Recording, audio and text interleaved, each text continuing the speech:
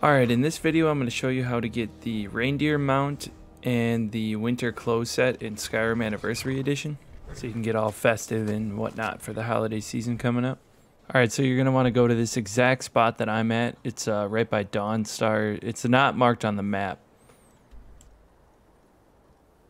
Alright, it's pretty simple. You're just going to want to talk to this guy and he'll have the clothing for sale in his inventory.